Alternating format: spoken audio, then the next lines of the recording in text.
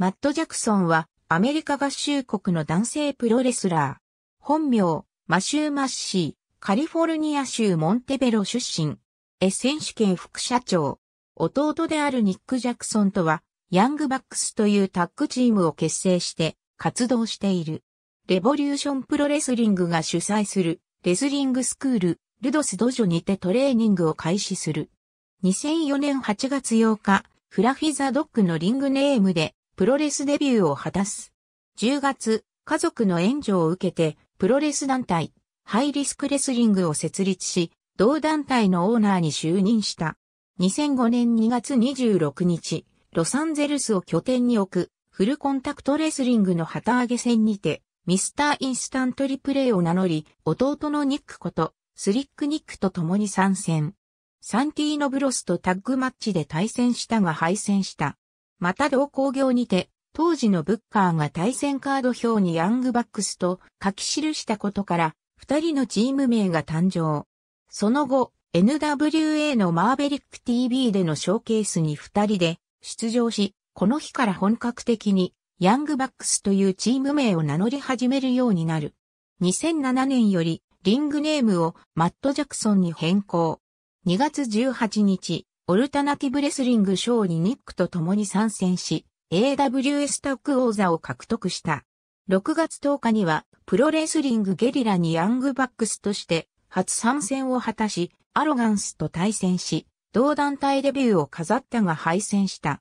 8月4日、HRW 主催のハイウェイにヘル2007にて、ニック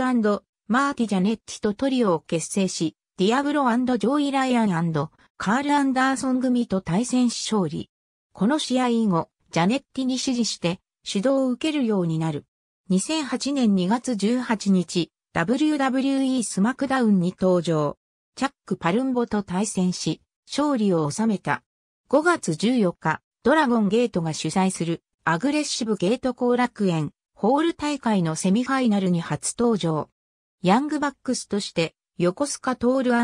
斎藤良組と対戦するが、斎藤にプレミアムブリッジを決められピンフォール負けを喫した。以後、参戦回数を積み重ねていくうちに、観客からの支持を得始めるようになり、ニックと共にドラゴンゲートの常連外国人選手としての地位を確立した。8月31日、PWG が主催するオールスターウィークエンド7にて、ジエージ・オブ・ザ・ホールが保持する PWG 世界タッ2009年1月9日、サンバーナーディの拠点とするエンパイアレスリングフェデレーションが主催するブレイキン・イン・ザ・ニューイヤー0級にヤングバックスとして参戦。フェイマス・フォー・フィアレスが保持するユフタッグ王座に挑戦し、勝利を収めて同王座に体感した。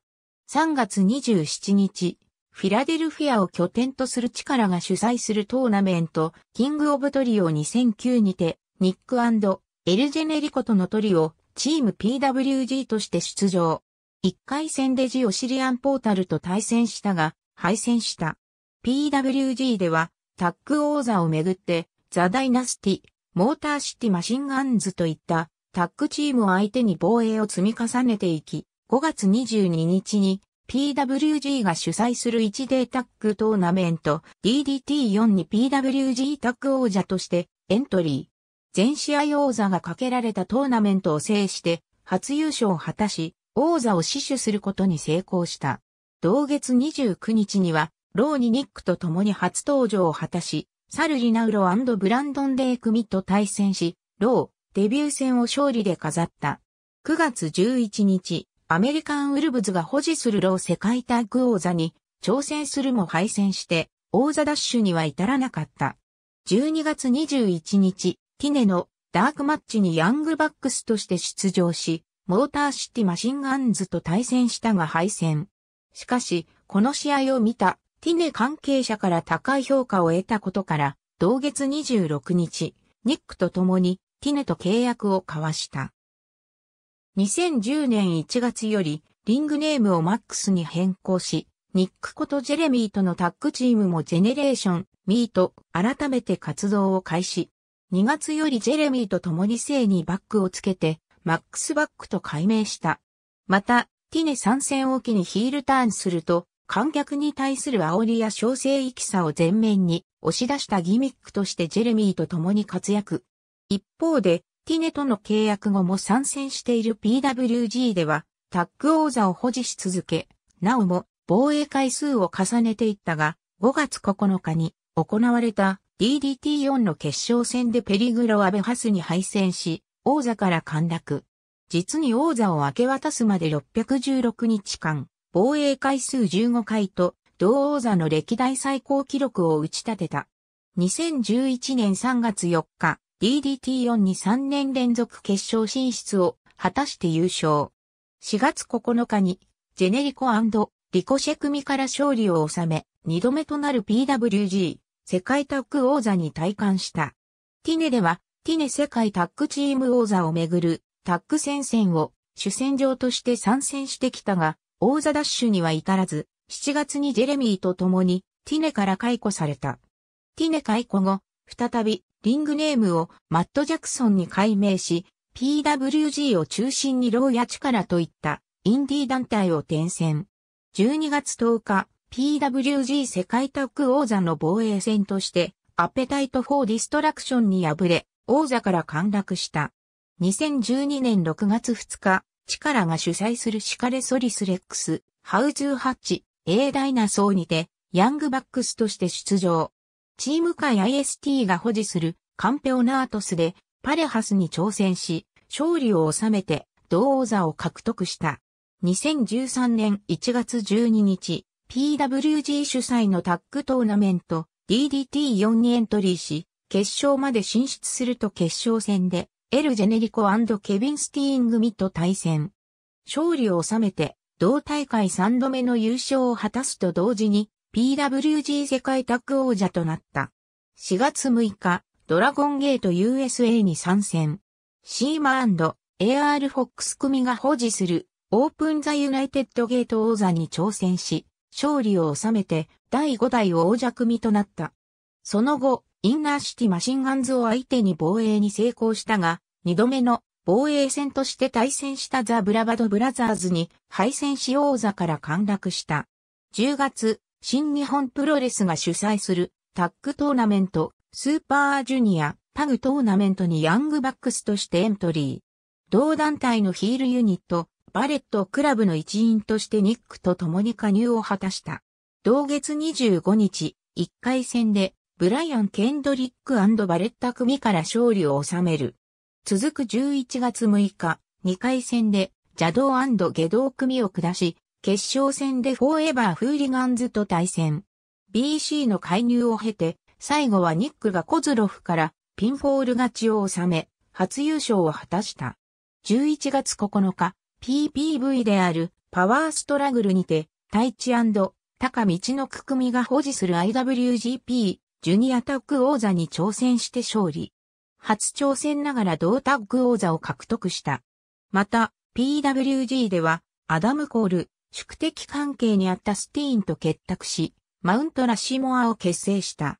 2014年1月4日、新日本主催のレッスルキングダム8のオープニングマッチに登場。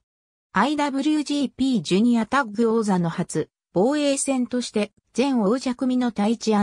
TAKA組に加えて、タイムスプリッターズ、フーリガンズを挑戦者組として迎えた4WAYマッチで対戦し、最後はタイチからピンフォール勝ちを収め初防衛に成功した。以後、スプリッターズとフーリガンズの2チームと IWGP ジュニアタッグ王座をめぐって幾度となく対戦し、抗争へと発展する。3月8日、 ROH主催のレイジングザバーにて、レッドラゴンが保持する ROH世界タッグ王座に挑戦。最後はオライリーにトライアングルチョークを極められた。ニックが強引に丸め込んで、ピンフォールを奪い勝利を収め、第40代王者組となった。5月17日、 ROHと新日本が共催するウォーオブザワールズにて、 ROHタッグ王座の初防衛戦として、レッドラゴンと再戦。最後は、チェイシングザドラゴンからオライリーに腕ひしぎ逆十字固めを極められギブアップ負けを喫して王座から陥落した。6月21日、ドミニオン6.21にて、スプリッターズを相手に6度目の防衛戦に臨んだが、最後はニックが串だから、ホバーボードロックを極められギブアップ負けを喫して、王座から陥落した。7月26日、PWG 主催の11周年記念工業のメインイベントに登場。ゲリラウォーフェアルール形式の PWG タッグ王座の防衛戦としてワールズキューテストタッグチームと対戦したが、最後はキャンディスに画鋲がばらまれたリング上にボールプレックスを決められ、ピンフォール負けを喫し王座から陥落した。2015年6月26日、ミステリーボルテックス3ロックショックザネーションにて、PWG タッグ王座を保持するトレバー・リーアンドリュー・エバレットに挑戦。試合終盤、ロデリック・ストロングを介入させると最後は、メルサードライバーで、リーから勝利を収め、ニックと共に、同王座4度目の体感を果たすと、試合に介入したストロング、試合後に現れた、スーパードラゴンと共にマウントラッシュモア2.0を結成した。9月4日、チカラが主催するキングオブトリオ2015にて、アージスタイルズニックとのトリオ、BC として出場。同月6日、決勝まで進出すると、チームトリプル A と対戦。最後はニックがフェニックスからスプリングボード式450度スプラッシュを決められ、敗戦。準優勝という結果に終わるが、試合後は6人全員で手を掲げ、お互いを称え合った。2016年2月20日、新日本とローの共催工業、オナーライジング、ジャパン2016にて、ケニー・オメガニックとのトリオ、ジエリートとして、ネバー無差別級6人、タッグ王座を保持するカオスの矢野2ブリスコブラザーズ挑戦。最後は、オメガが矢野からピンフォール勝ちを収め、第4代王者組に戴冠した。同月26日、 ROHが主催する14周年記念興行ラスベガス大会に参戦。ネバー6人、タッグ王座の初防衛戦で、クシダマットサイダル組と対戦。最後は、オメガがサイダルからピンフォール勝ちを収め、初防衛に成功した。その後は新日本正規軍との構想に身を投じることとなり、4月10日、インベージョンアタック2016にて、ネバー6人、タッグ王座をかけた防衛戦で、棚橋マイケル・エルガン吉達組と対戦。この日復帰を果たした吉達の首を集中攻撃していくも、最後はニックがエルガンからピンフォール負けを喫し王座から陥落した。5月3日、レスリングドンタク2016にて、ネバー6人、タッグ王座を保持する棚橋エルガンヨシタツ組を相手にジエリートとして挑戦。最後は、オメガがヨシタツからピンフォール勝ちを収め、第6代王者組に返り咲いた。IWGP ジュニアタッグ王座と ROH、世界タッグ王座の2冠時代。ありがとうございます。